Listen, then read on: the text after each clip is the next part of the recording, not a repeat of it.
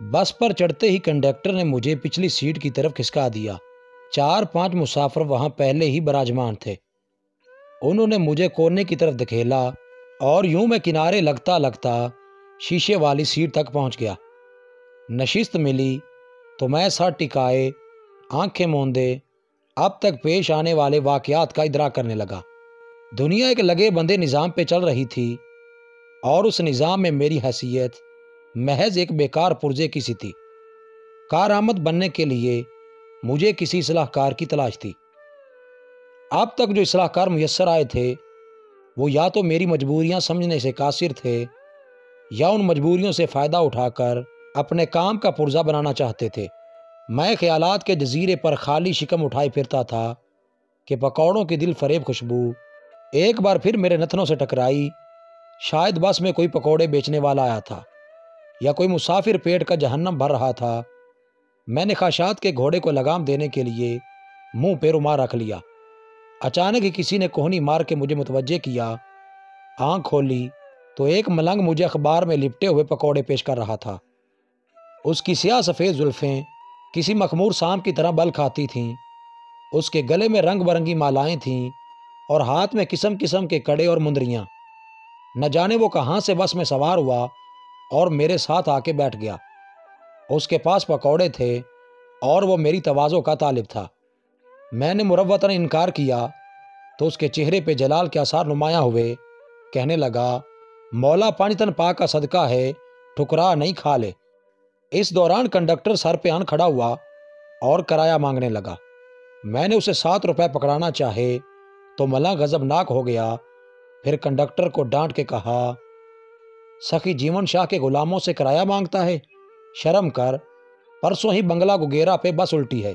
मन का टूटा है कंडक्टर का, पता है क्यों? उस बदबख्त ने एक हुसैनी कलंदर से किराया मांगा था।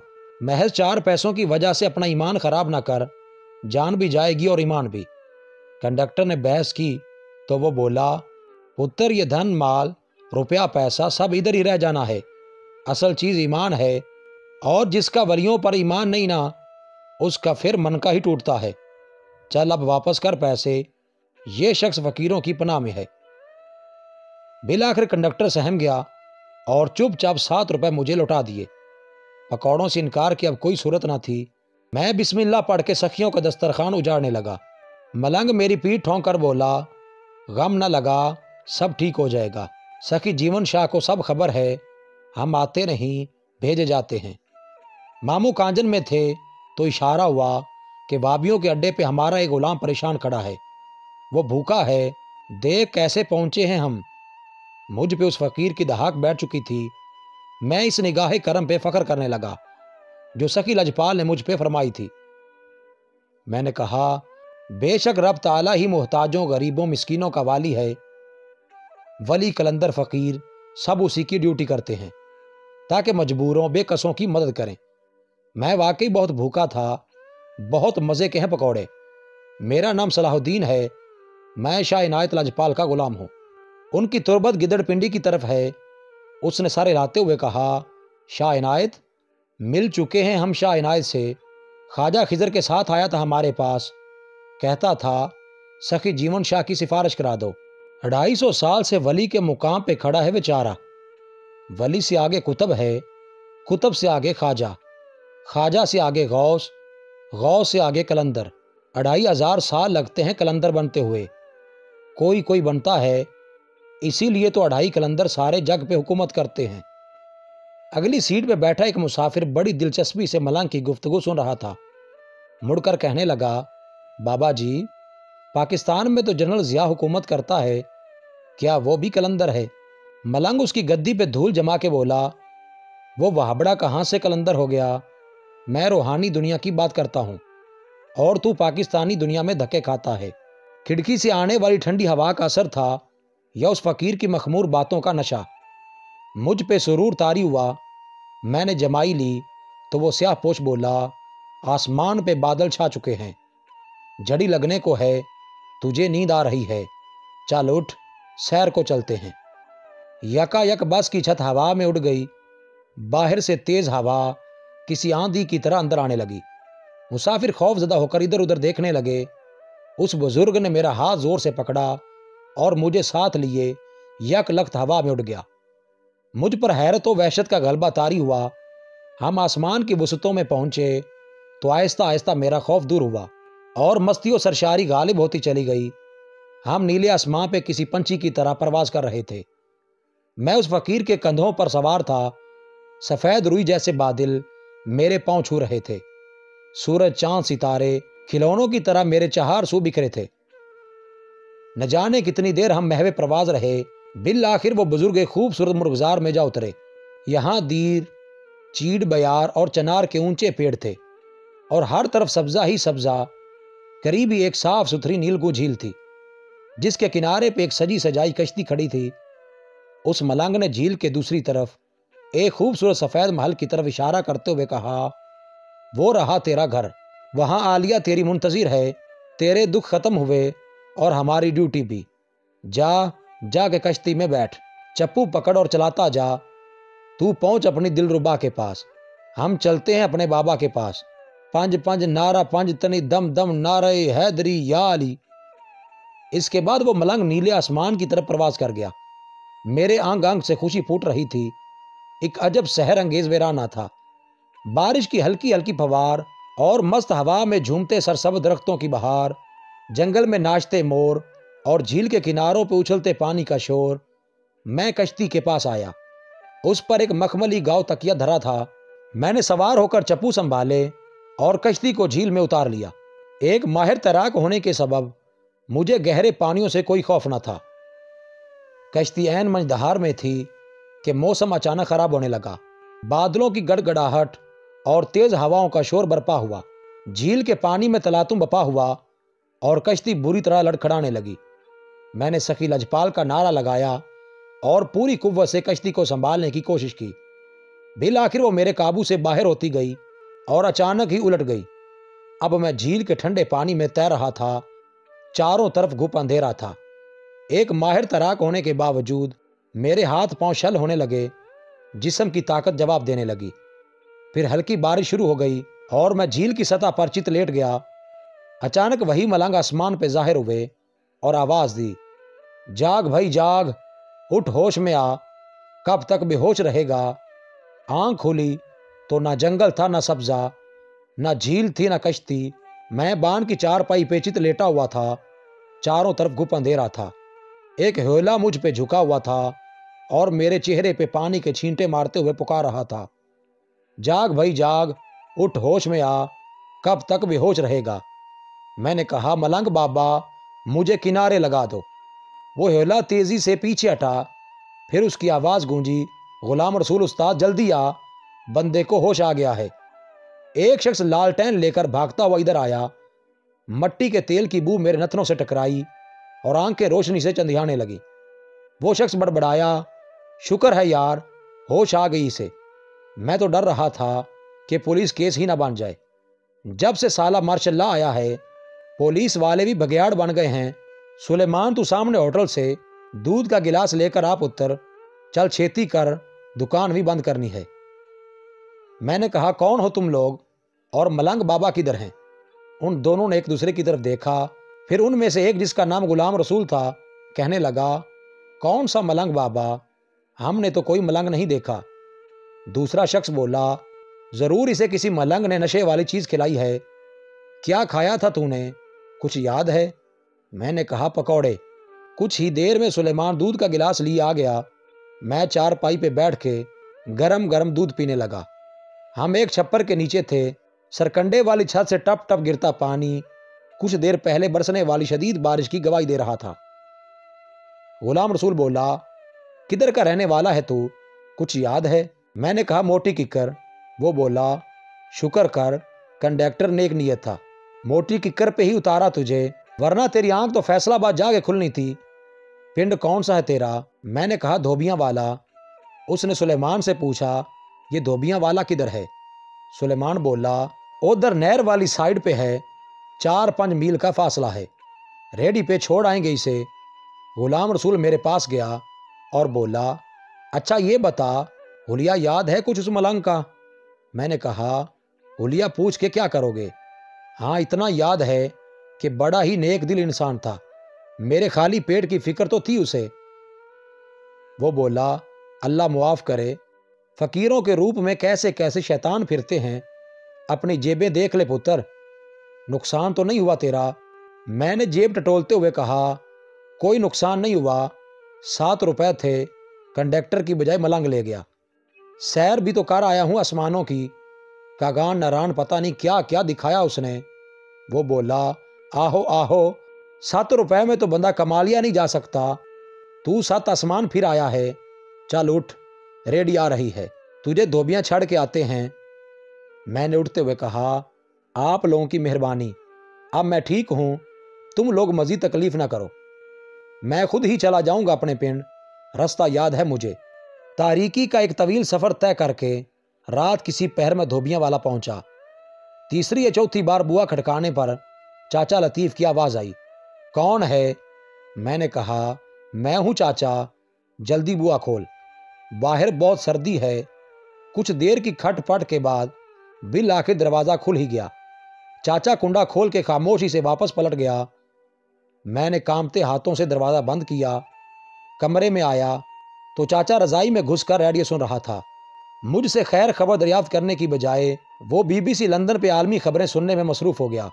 रेडियो पे हालात हाजरा का प्रोग्राम सैर बिन चल रहा था। वही बासी तरबासी खबरें जो रो सुनते थे। काबुल में रूसी फौज के मजालिम, पाकिस्तान का एहतजाज, रूसी तैयारों की पाकिस्तानी फ़िज़ाई खिलाफ वर्जी, पाकिस्तान का एहतजाज फ़लस्तीनियों पर इसराइल के मजालिम, पाकिस्तान का एहतजाज। मैं कुछ देर तो मंजी पे टांगे लटकाए खबरें सुनता रहा। बिल आखिर मीसनी से सूरत बना के कहा, चाचा, रोटी नहीं खाई मैंने, भूख लगी है। उसने रेडियो की आवाज़ धीमी की और उठ के बाहर चला गया। मैं मंजी पे चौकड़ी मार के खाने के इंतज़ार में बैठ गया। थोड़ी देर बाद वो मक्की की उबली हुई एक छल्ली ले आया, जिससे ठंडा पानी रस रहा था। फ़िलहाल ये तुक्का खा ले रोटी टुक्कर नहीं है। थोड़ा लून भी लगा लेना, नहीं तो पेट में वाह करेगी। इसके बाद वो रेडियो की आवाज़ ऊँची करके बैठ गया, जहाँ रजा अली आबदी कश्मीर में भारतीय मजालिम का हवाल बयान कर रहे थे।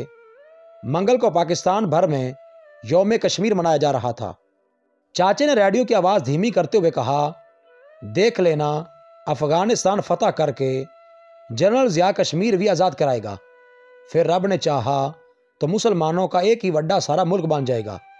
मैंने जल भुन के कहा, खाएँगे क्या? तुक्का? अपना रोटी टुक्कर पूरा नहीं होता। इतने बड़े टब्बर को कौन संभालेगा? खबरें ख़त्म हुई तो चाचे ने रेडियो बंद करके मखमली कवर में लपेटा और संदूक पे रख दिया। फिर बड़ी नकाहा से चलता हुआ मेरे पास आया और बोला, शुक्र कर तुक्का भी मिल रहा है। पेटी से रजाई निकाल और सो जा। आज इस घर में तेरी आखिरी रात है। सवेरे सवेरे टुक्कर खा के तितर हो जाना। मैंने कहा, चला जाऊँगा अली को लेके। रब की ज़मीन बहुत वड्डी है। वो खांस के बोला आली से अब तेरा क्या रिश्ता है? बहुत कालक मल दी तूने हमारे मुँह पे। अब किनारा कर। मैंने कहा, खैर तो है चाचा, कैसी बातें कर रहा है? वो बोला, वही कह रहा हूँ जो सच है। आज शबीर शाह साहब आए थे, हमारी मसीद के इमाम। बहुत आलिम फाजिल बंदा है। पूरी रिपोर्ट मिल चुकी है उसे तेरी। कह रहा था, तलाक मुड़ नहीं सकती, पावे बंदा ने खूह में उल्टा भी लटक जाए। ये जो तू पिंडों कस्बों में शेदाइयों की तरह मारा मारा फिरता है ना, मुफ़्त की बदनामी कमा रहा है। ना आप गंदा हो, ना हमें गंदा कर। चला जा और फिर इधर का मुँह नहीं करना। मैंने कहा, शबीर शाह साहब ने देर कर दी चाचा। एक दिन पहले आ जाता तो भले तोड़ देता मेरा घर। अब कुछ नहीं बिगाड़ सकता सेल्फी हो गया हूँ मैं। चाचा कुछ देर होंकों की तरह मेरा मुँह देखता रहा, फिर बोला, क्या मतबल ये एल्फी क्या होती है? मैंने कहा, सेल्फी मतलब वहाबी, आज पेशी की नमाज़ के बाद मैंने एक मीनारा मस्जिद कोटा वाला के इमाम के हाथ में वहाबियत कबूल फरमा ली है। वो हैरानगी से बोला, ये कैसे हो सकता है? मैंने कहा, वहाबी बनने के लिए कौन सा नवा शनाख्ती कार्ड बनवाना पड़ता है, चाचा? धुन्नी के बजाय छाती पे हाथ बाँध लो तो बंदा वहाबी हो जाता है। वो तिल मिलाकर बोला, तू भले सिख बन जा, आली नहीं मिलनी तुझे। सोचना भी नहीं, हमारी धी यतीम नहीं, साई खस्मों वाली है। फैसला वही होगा जो सुबह शाह साहब करेंगे। ये कहकर चाचे ने लालटेन बुझा दी। अगले रोज सुबह सवेरे ही शाह साहब आँख धमके। उनके लिए रंगीली चारपाई बिछाई गई। पेटी से नया तकिया निकाला गया। पराठे, दही, अचार और अंडों का नाश्ता तैयार किया गया। मुझे पानी तक न पूछा गया। शाह साहब नाश्ता तनावल फरमा चुके तो मेरा बुलावा आ गया। मैं आँखें मलता हुआ बाहर आया और सलाम करके सामने मंजी पे बैठ गया। वो बोले, सलाहुद्दीन, तूने बाकायमी होशो हवास अपनी वोटी को तलाक दी है या किसी ने तुझे ऐसा करने पे मजबूर किया? मैंने कहा, गुस्से ने मजबूर किया था। बाद में पछतावा हुआ। वो सर हिलाकर बोले तलाक हमेशा गुस्से में ही दी जाती है, वीरे। हँसी खुशी कौन देता है? हम अंग्रेज़ थोड़ी हैं। वो लंबरदार का बेटा बता रहा था कि वलायत में लड़का लड़की एक दूजे से बेजार हो जाएँ तो हँसी खुशी ब्रेकअप कर लेते हैं। हम तो मुसलमान हैं, वीरे। तलाक हो गई तो किस्सा ख़त्म। तलाक दे के वोटी के साथ रहना, वो भी उसके पेके जाके। इससे वड्डी बेगैरती कोई नहीं। बाकी तू आप समझदार है। मैंने कहा, मैं सलाहुद्दीन सल्फी मज़हब इस्लाम मसल के अहल हदीस, एक महफिल में दी गई तीन तलाक को एक ही शुमार करता हूँ। मैंने अपनी वोटी से रुजू कर लिया है। अब करो बात। यह सुनकर शाह साहब कुर्सी से यूँ उठे, गोया करंट लग गया हो। चेहरे पे हैरत और गुस्से के आसार नुमाया हुए, फिर तंजिया मुस्कुराहट से कहा अच्छा तू अब विक्टोरियन हो गया है तो मतलब आले विक्टोरिया, जिनके यहाँ हलाल जानवर की हर चीज़ हलाल है। मतबल गोबर पीप, थूक सब हलाल। नापाक कपड़ों में नमाज़ जायज़, अंडे और मुर्गी कुर्बानी जायज़, नाखून पालिश में वज़ू जायज़, टोपी के बगैर नमाज़ जायज़। वीरे, जब सब कुछ जायज़ हो गया तो तलाक किस खेत की मूली है।